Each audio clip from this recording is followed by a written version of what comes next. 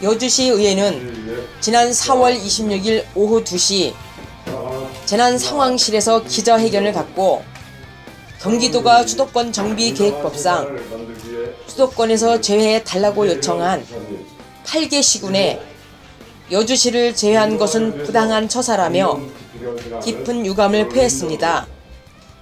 이날 이 자리에는 윤필선 의장과 김영자 부의장, 서강범, 이봉예, 박시선, 한정미 의원 등이 배석했습니다.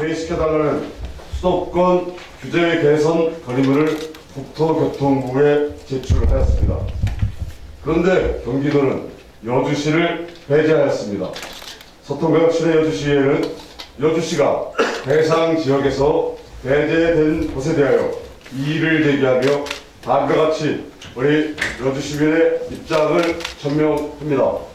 첫째, 경기도가 수도권 정비 개입법상 수도권에서 제외해달라고 요청한 해당 지역 8개 시군에 여주시를 제한 것은 매우 부당한 처사라고 생각합니다. 여주시의 인구는 김포, 파주시에 비해 4분의 1에 불과하고 양주시의 절반이며 포천이나 양평보다는 더 적습니다. 반면 산업구조는 농업인구 비율이 17%에 육박하여 경기도야, 경기도가 농촌지역으로 분류하는 연천, 가평, 양평보다도 높습니다. 그런데 어떻게 여주시가 제외되었는지 납득하기 어려운 결정이라고 생각됩니다. 둘째, 지난 4월 3일 기획재정부가 발표한 예비 타당성 조사 제도 개편 방안에 따르면 수도권 중 접경 도서지역과 농산 어촌 지역을 비수도권으로 분류하여 적용하도록 되어 있습니다. 이를 수도권 분류 기준을 완화하여 경제적 타당성뿐만 아니라 국토 균형 발전을 도모하기 위한 것입니다. 여주는 수도권으로 분류되고 또 수질보전 특별 지역으로 지정되어 수질보전 특별 대책 지역으로 지정되어 다중규제 속에서 개발이 제, 제한되어 온 대표적인 지역입니다.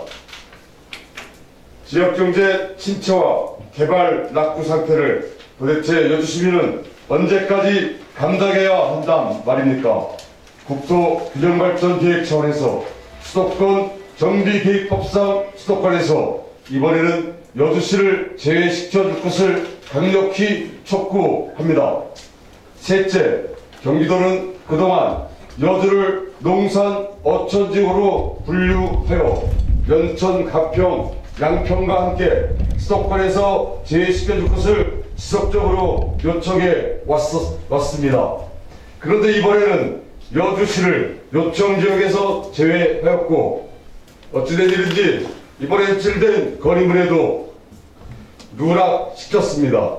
만일 여주시가 여주군에서 여주시로 바뀌었기 때문에 농산 어촌 지역에서 제외된 것이라면 이는 전형적인 탁상 행정입니다. 판단의 근거는 시냐 군이냐 하는 명목의 문제가 아닙니다.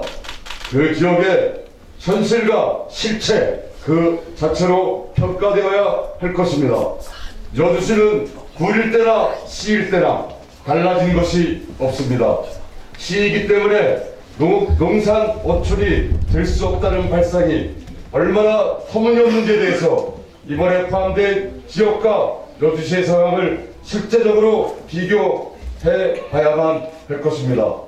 전형적인 농촌 도시인 여주시가 수도권 정비 계획법상 수도권으로 분류되고 수질보전 특별 대책 지역으로 지정되어 받아온 저개발과 가난의 고통으로부터 해방시켜 주십시오. 여주시가 이번에 수도권 분류에서 제외되지 않는다면 여주시민은 또 한 번 깊은 좌절에 빠질 것입니다. 이를 좌시할 수 없습니다. 지금은 여주시가 수도권 규제에서 완화돼야 할 적기라고 판단합니다. 경기도는 수도권 제 거리 지역에 그 어느 시군보다도 여주시를 우선적으로 포함시켜야 할 것입니다. 경기도는 거리세 여주시를 반드시 포함시켜야 합니다. 이는 여주시민 12만의 목소리며 국토 균형 발전을 위한 당위이기도 합니다. 경기도가 부디 현명하고 올바른 판단과 결정을 내릴 것이라 확신하며 건의 문의 수정을 고대하는 바입니다. 감사합니다. 1919년 4월 26일 요일 여주시 의회 의원 일도 부장님께 한번 여쭤보고 싶습니다. 지금 이 사태가 지금까지 여주시가 쭉 와, 와온 그 어떤 그 외부적인 이런 불합리한 이런 것들 예를 들면 비행기 폭격장 뭐 이런, 이런 거 했을 때 반대 시위하고 했었던 또 다른 뭐 여러 뭐 우리 저 4대강 문제라든지 이런 걸 비춰봤을 때 지금 이 두 가지 지금 예타라든지 뭐 이런 개발 문제라든지 두 개가 지금 같이 묶여 있는데 얼마만큼 중하다고 생각하시는지 좀 대답을 좀 해주셨으면 좋겠습니다. 지금 이 문제가 굉장히 중요하다고 봅니다. 그 여주는 여러 규제 때문에 개발도 안 되고 개발할 수도 없는 상태에서 이웃 양평이나 이렇게 연천 가평 이런 거는 다 모든 게 규제가 풀리는데 여주가 이게 풀리지 않는다는 거는 저는 좀 정치력들이 다 부족했다 이렇게 반성하고 있습니다. 그리고 정말 그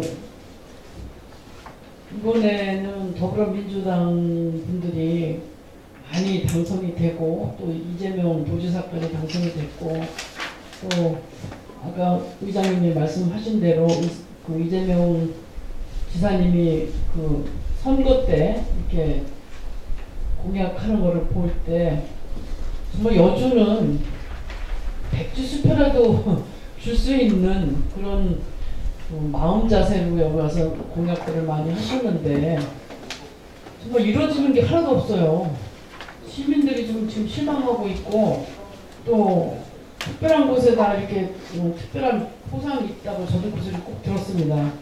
그러나 지금까지 뭐 이렇다 할 정도 없고 경기도에서 오히려 이 험지라고 민주당 험지라고 해서 굉장히 그때 당시에 선거 당시에 어, 민주당 의원들, 뭐 시장님들 다 당선시키려고 도지사님 굉장히 여기 집중적인 공약들을 많이 했고 또 위에서부터 내려오셔서 여주에다 많은 것을 어, 줄 것처럼 했는데 이런 거 하나를 여주가 배제됐다는 거는 너무 정말 있을 수 없다고 생각합니다. 앞으로 이거는 시의에서 차원에서도 정말 다시 한번 삭발을 하든가 새로운 각오를 해서 이거를 음, 이 규제를 풀어 나가고 싶습니다. 그 지금까지 왔었던 것 중에 가장 센 여파가 온 것 같지 않습니까? 저는 세다고 봅니다. 아, 지금 더불어민주당이나 이제 자유한국당 같은 경우에 이제 여주에 지금 뭐 뭐라 그럴까요 좀 위원장이나 뭐 그런 분들도 안 계시고 국회의원도 안 계시고 그래서 이게 정치력이 부재해서 지금 그런 것이 아니냐. 그러니까 더불어민주당만 계신 게 아니에요. 어, 지금 자유한국당도 계신데 자유한국당도 지금 양평 지역 위원장이고 그렇기 때문에 지금 다, 다 책임이 있다. 여주를 지금 정치권에서 어, 어느 누구도 지금 대표하지 못하고 있다. 지금 그런 얘기를 질문을 드리는 거예요. 그동안의 가정사에서는 충분히 이런 이 타자나 근거와 이유에 있었을 때 여주시는 당연히 들어갈 것이라고 봐지는데 갑자기 빠졌단 말이에요. 이 부분에 대해서 파악되신 부분이 단지 군에서 시기 때문에 탁상 행정상이 이것 때문에 그렇다고 보여주시는 건지 좋은 말씀 하셨는데 지금 저 주민들의 그 심정은 상당한 실망감과 낙담이 커요. 이 부분을 의원님들은 달랠 필요가 있다고 봅니다. 시간이 가면 갈수록 회복이 힘들어지니까 제가 봤을 때는 어, 의회 차원에서라도 국토부라든지 기재부라든지 경기도라든지 어떤 항의 차원에서 방문하고 강력하게 수장도 하고 삭발도 하고 기재부 앞에 가서 삭발도 하고 국토 앞에서 하고 이거를 행정부의 눈치를 보지 말고 의회 차원에서 독단적으로요. 행정부가 행동할 때가 아닌 것 같아요. 의원님들은 의원님들이 어디 선출, 선출직이니까는 독단적으로 그런 계획을 하루라도 빨리 하는 게 주민들의 어떤 상처난 마음을 달래는 게 아닌가 싶습니다. 그 부분에 대해서 답변해 주세요.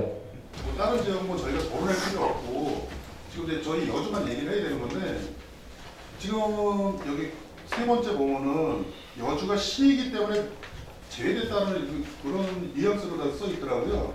이게 혹시 의회에서 그거랑 확인이 된 건지 아니면 따로 또 이유가 있어가지고 여주시가 제외된 건지 그거 파악되는지 그거 좀 말씀해 주세요.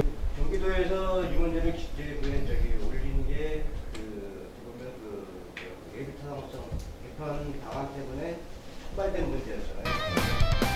전국의 140몇 개의 윤필선 여주시 의회 의장은 전형적인 농촌 도시인 여주시가 수도권 정비 계획 법상 수도권으로 분류되고 수질 보전 특별 대책 지역으로 지정되어 다중 규제 속에 개발이 제한되어 온 대표적인 지역으로 경기도는 수도권 분류에서 수도권 제외 건의 지역에 그 어느 시군보다도 여주시를 우선적으로 포함시켜야 할 것이다라고 건의문 수정을 요청했습니다.